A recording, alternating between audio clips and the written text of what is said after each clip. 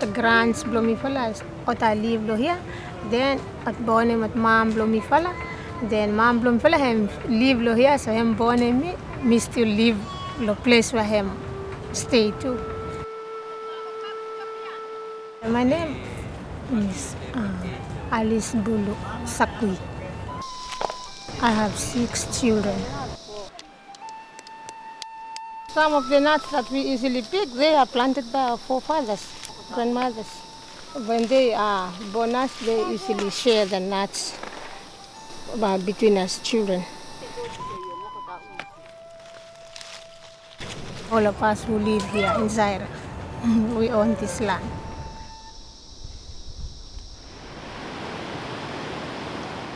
Zaira, where Bulu and her family live, is a tiny community in the Solomon Islands, a group of over a thousand small islands in the southern Pacific Ocean.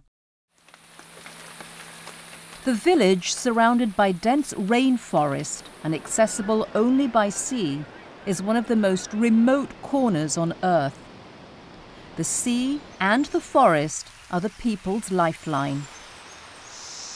We usually go to the forest, we find some wild yams in the forest. Sometimes people go to the forest, they just go for hunting of wild pigs. Uh, we women, if we go to the forest, we find leaves for baking. For cut firewood. The forest, by filtering groundwater and holding soil in place, also helps maintain the coastal ecosystem. Healthy coral reefs and tree roots provide feeding and spawning sites for fish and seafood for the villagers.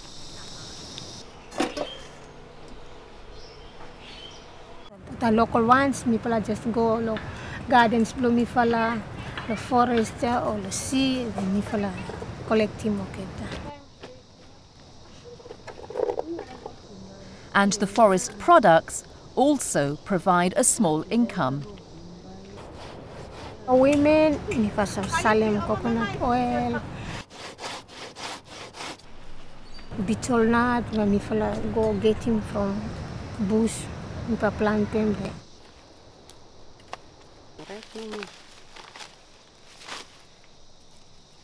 Go marketing.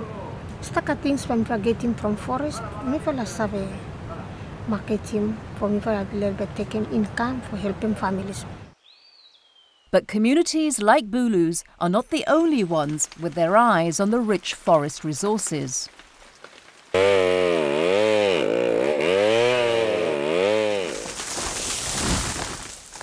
Valuable tropical timber is the logger's prize.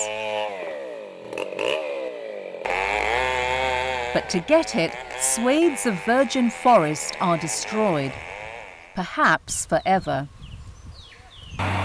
Logging of the country's forests, largely by commercial companies from overseas, aiming to satisfy the growing global demand for hardwood, is changing not only the landscape, but also a whole way of life for the island's people.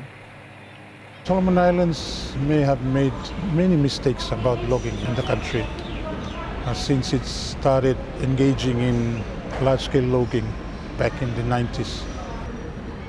And so whilst it helps the economy, it doesn't really help the people in the long run. Reverend Moses Maizama, who ministers to many small communities on Bulu's island of Vangunu, and has seen firsthand the impact of unsustainable logging, says that forests must be better managed before it's too late. Or the result for local people, he says, could be disastrous. We find rivers polluted. We find animals which form part of the diet of the community started to leave the place. We find that even the reefs and the marine resources starting to have the effects of it. It affects the food security of the community. and it might take years before it can come back to normal.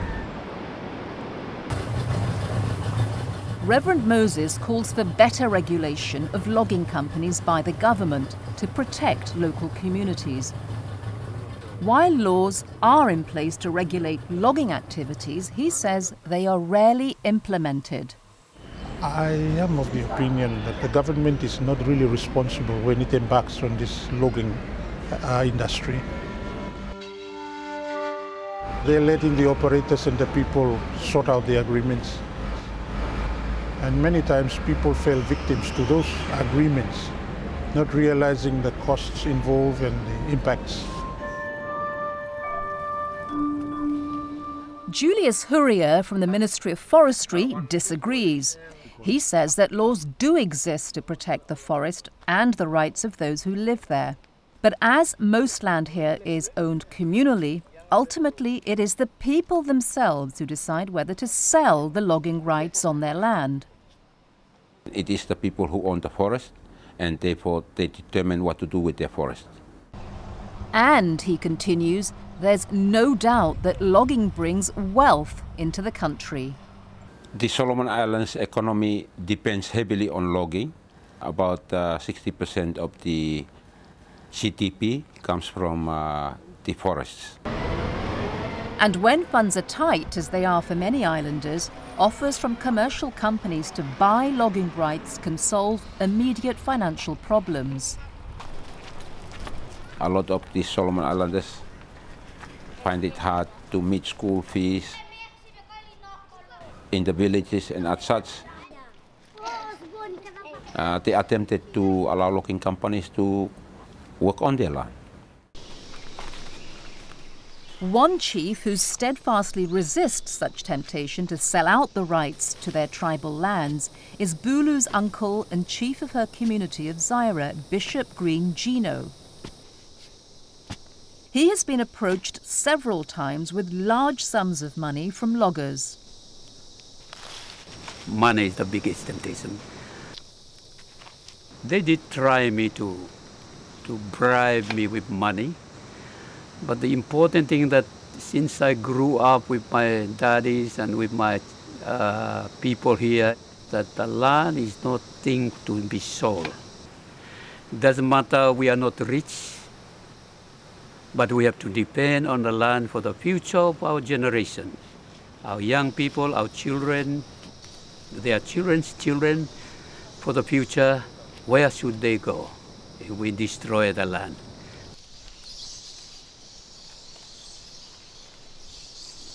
But Green Gino faces a dilemma.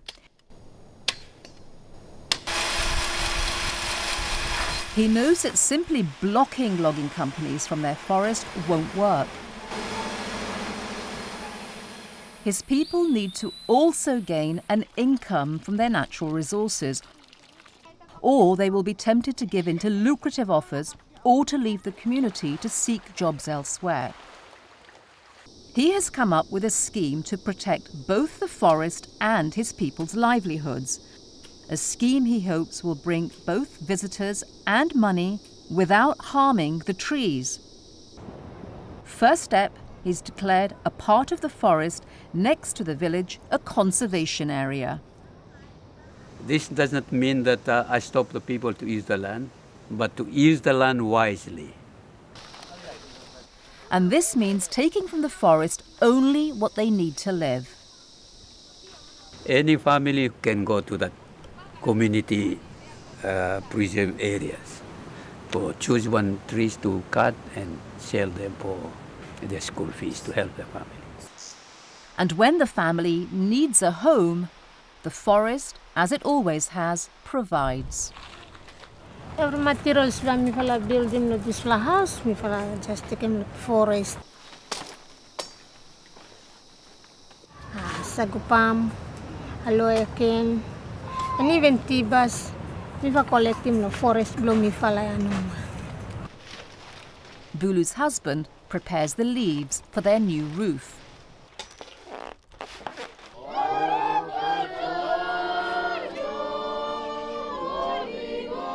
The other village building that needs a roof is the new church. and harvesting timber for this is also permitted.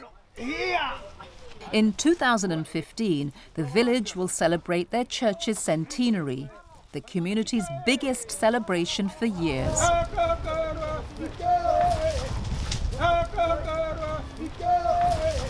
But Green Gino is clear on how this tree felling should be managed. Just take the one that you need, not don't just destroy the small ones so that you can harvest for next year or so on.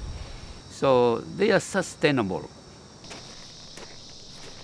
Working with Green Gino is one of Zaira's few college graduates, environmental scientist Vera Pulekera, now with the Solomon Islands Community Conservation Partnership, or SICCP. Vera also knows that simply restricting use of the communal forest to the villagers could cause problems. So that's why we need to manage it, and then we have to work on something that is not that will not destroy the forest, but we get something that will uh, provide for us in, in the longer term. Vera and Chief Green Gino saw the potential to develop ecotourism.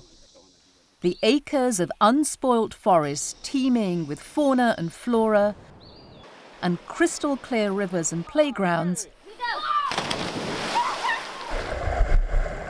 could be just the wilderness adventurous tourists are looking for. When they manage the forest, they need to get something out from it. And they agree on that, and we started to promote our local tourism programs here. So we, we call it our Eco Village uh, uh, Stay Program. Bulu was one of the first to offer homestays to visitors. They stay in a traditional village house and eat food plucked from the forest and the sea, which Bulu and the other women take turns preparing. Everyone have to get benefit, and because this fella uh, conservation where me fella running him blow whole community lo this fella place. Due to the remote location and treacherous seas, only a few determined visitors have made it to Zaira. And once there, hiking in the unspoilt forest is one of the main draws. But this is just a beginning. Finding a way to earn a livelihood from the forest that excludes unsustainable logging is a challenge. That's why the United Nations Forum on Forests, or UNFF, encourages governments and international donors to support small scale ventures like this. For many communities, such as Zaira, the growing ecotourism industry is an opportunity to both preserve their forest and provide a sustainable future for generations to come. And that's our responsibility to look after our forest, manage our resources. I see that's the future. By me pala strangle, by me pala me team stack a problem. If logging him come and destroy him sa forest. I will never sell out the land because people are important and land is important for the future. I will never, never do that one until I die.